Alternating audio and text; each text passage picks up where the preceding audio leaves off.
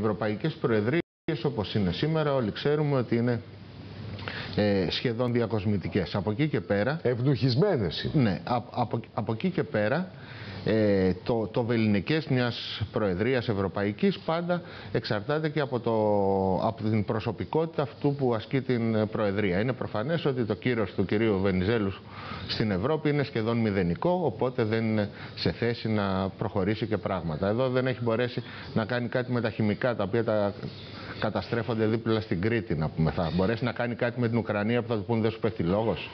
Μας, ε, μας έχει καλέσει ε, Έλληνας επιχειρηματίας